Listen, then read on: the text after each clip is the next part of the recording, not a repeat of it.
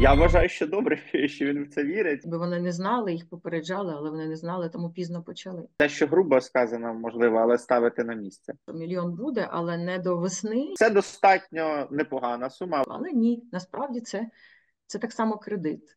Вітаю вас! Це програма Таран запитує. І сьогодні говоримо про рішення спеціального засідання Європейської ради в Брюсселі і виділення Україні 50 мільярдів на 4 роки, але на певних умовах. І от саме про ці умови, зокрема, я і буду розпитувати Максима Несвітайлова, політолога та експерта-міжнародника. Правильно, Максиме? Так, все вірно, вітаю. Вітаю вас і хороший день для Європи, сказала нам пані Урсула фон дер Ляйн. А Мецола, це та, що президент Європарламенту, сказала, що ну, сценарій, звичайно, не ідеальний, але єдність і одностайність, принаймні, Європа продемонструвала, і це протилежне тому, що хотів Путін. А як гадаєте ви, це хороший день для Європи, і чи це хороший день для України? Я б сказав, досить непоганий, тому що ще місяця три тому, е, мені здається, все виглядало значно гірше.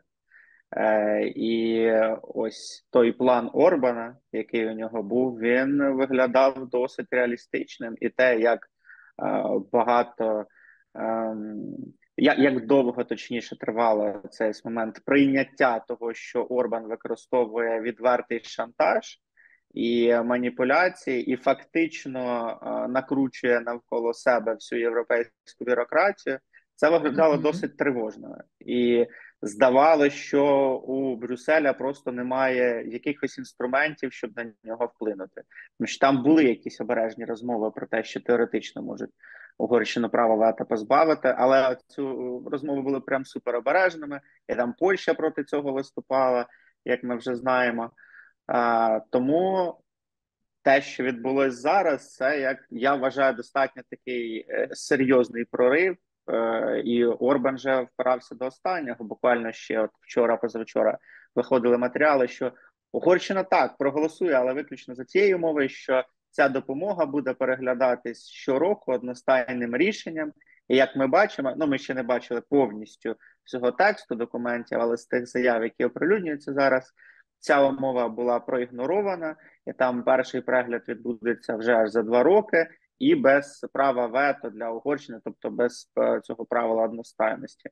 Тому для нас це однозначно е, перемога. Ну і е, такий певний успішний тест для Європейського союзу, як вони от в таких несприятливих умовах можуть.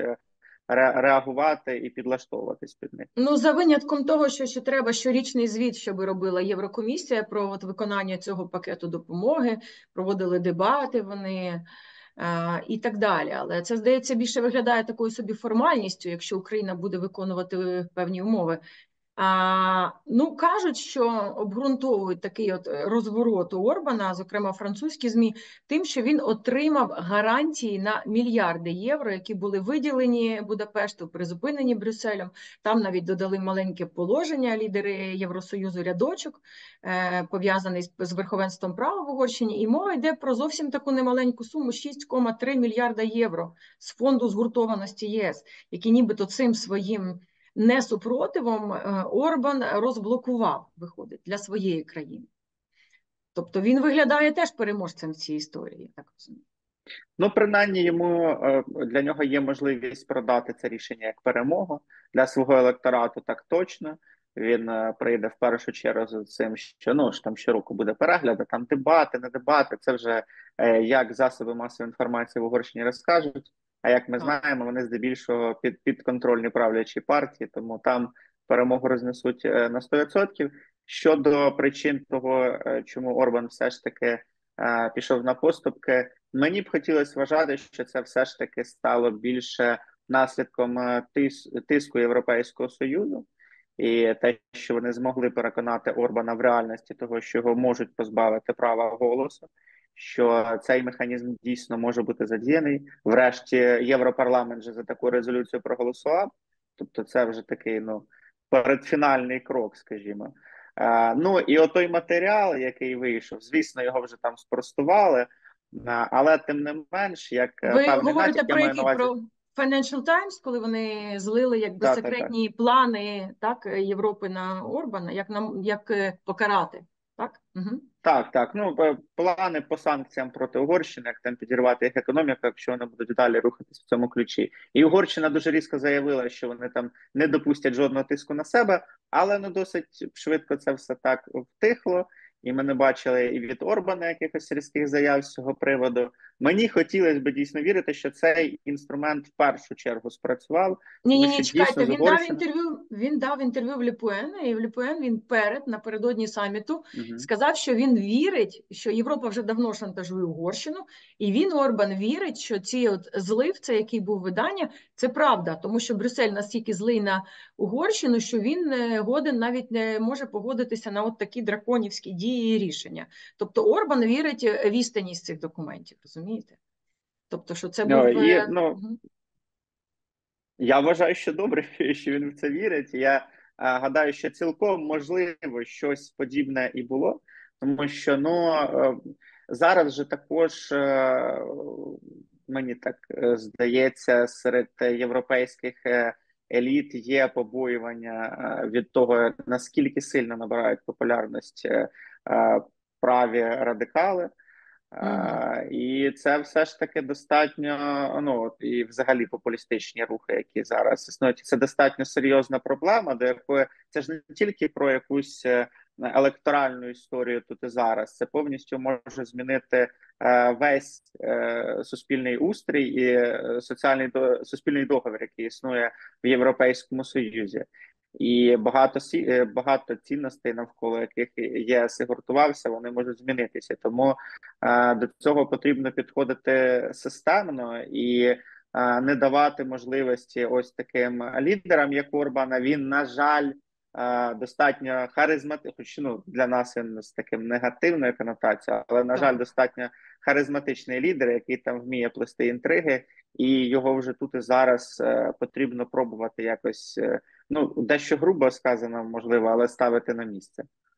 Ну кажуть, що його переконали Манюель Макрон і Джорджія Мелоні, його подружка з Італії, що вони в переддень саміту, як завжди, проводили перед переговори, власне, на яких все і вирішується. Потім ще була невеличка зустріч лідерів. Це те, що я почитала всі витоки, які дають журналісти, які працюють безпосередньо зараз там. Були невеличкі групи лідерів інших країн, які вже приєдналися пізніше, і все ж таки його вмовили.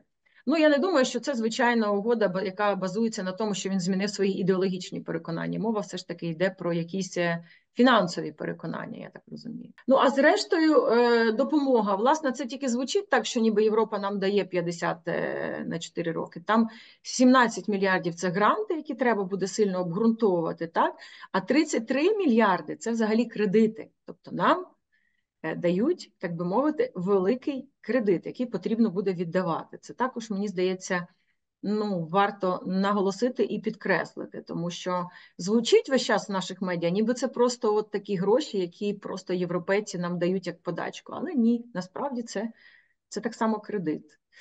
Як ви гадаєте, чи це рішення е, позитивне для нас наразі? Так якось буде корелюватися з позицією Сполучених Штатів? Е, якось вони можуть подумати: ну от Європа, все ж таки, як і закликали її лідери, так Європа вже втрутилась грошима, допомогла, то нам точно не на часі, і хай і не буде на часі. Якось може це рішення вплинути негативно на американський бік допомоги? Я гадаю, що Америка своє рішення приймає без огляду на Європейський Союз, і взагалі там, в принципі, мало, скажімо, раціонального зерна е, в цьому ну, в прийнятті цього рішення. Тобто, усвідомлення того, що необхідно Україну підтримати, є що це в геополітичних інтересах Сполучених Штатів Америки також, тому що Україна зараз по суті це форпост е, е світового порядку, і, е, який там ґрунтується на Пакс Американа. І е, фактично, те, що ми стримуємо Російську Федерацію, багато в чому стримує там ряд інших е, країн, які мають агресивні настрої там стосовно своїх сусідів. От якщо ми говоримо про той же Китай, е, Китай, Тайвань е, і так далі, там от це виключно політична проблема, де мова йде не про те, що там чи доречно ці кошти виділяти, чи Україна їх потребує. Вони розуміють, що потребує, вони розуміють, що доречно, і єдиним оцим каменем, об яке об який це все розбивається, це вибори в Сполучених Штатах Америки, а конкретно ті тези, на яких Дональд Трамп будує свою передвиборчу кампанію. Його передвиборча кампанія вона мало в чому ґрунтується на е, якихось е, на конкретиці, на фактажі. Вона будується на емоціях, на страху. Е, є е, мігрант, проблема з мігрантами, є кордон. Він говорить про це. Він лякає націю цим. Е, є е, там ще ряд якихось е, проблем. І фактично, якщо зараз буде прийнято це це рішення, буде проголосовано, і Україна отримає допомогу на кордон. Виділяться великі кошти. То Трампу не буде навколо чого будувати свою кампанію. Але давайте повернемося ж таки в Європу, яка погодилась нам допомагати, виділити і кредити і е, е, інші кошти. Порахували на прес-конференції за підсумками сьогоднішнього засідання, що Е, усі, уся допомога Україні, я так розумію, двостороння інших держав е, на нашу війну так е, порахували напевне вартість цієї техніки, яку нам надають, і вартість цих снарядів, і так далі. На наступний рік Європа виділяє 21 мільярд євро. Це так вони і назвали бюджет для військової допомоги Україні. Але я так розумію, що мова йде не про якийсь солідарний бюджет, це просто сукупний бюджет, е, скільки виділяє кожна країна. Я так розумію, що Європейський фонд миру, який виділяв раніше нам кошти на снаряди, виділялися звідти і так далі. Це зовсім інші кошти. Чи як поясніть?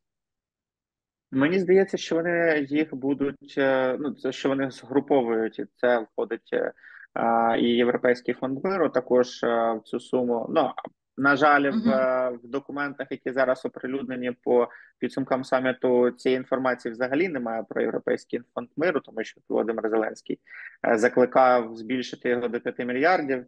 Uh Поки що ми ну такої інформації не маємо, але швидше за все такого рішення не буде. І це швидко от, Е, сумарно, це ж про те, що ми можемо говорити, що там Німеччина нам погодилась збільшити підтримку до 7 мільярдів євро. Там і ряд і інших країн е, європейських от з Францією чекаю підписання безпекової угоди і Угоди. фінальну суму, яка так яка буде озвучена. Я гадаю, що це якраз е, сукупно те, що окремі країни дають, те, що там якісь спільні інституції.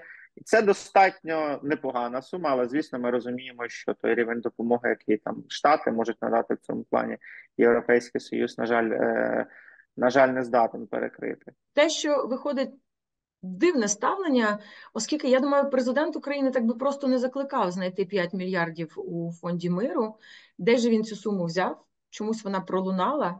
І зовсім ніякої відповіді не пролунало від Європи.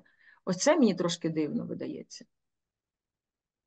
Ну, я гадаю, можливо, це міг бути один із тих компромісів, е, про які йде мова, що ну давайте не все одразу. Ну, вже окей, ми е, зараз і проголосуємо за 50 мільярдів цієї середньострокової допомоги. Е, про фонд миру вже якось ну будемо іншим разом. Можливо, це якраз от тут в дебатах, якихось закулісних розмовах до спільного рішення не не прийшли. Ну і знову ж таки, ось це легше перекрити навіть таку суму там якоїсь індивідуальної допомоги від е, різних країн. Хтось там може підтягнути, послідувати прикладу Німеччини. Ще, звісно, 7 мільярдів це дуже добре, але ми розуміємо, що німецька економіка е, дуже потужна, і за бажанням ми б могли отримати і більше, але ну не в нашій ситуації зараз е, сильно скажімо, е, жалітись. Ми ще все ж таки сподіваємося, що Штати підключаться вже найближчим часом. Сильно би хотілося, і сильно би хотілося, щоб це сталося вже щонайменше, от буквально цього місяця, так? Або або ще краще найближчого тижня. Максиме, я дякую вам за ваші коментарі і сподіваюся зустрітися знову з теж хорошими новинами наступного разу. Дякую вам дуже за ваш коментар. До зустрічі.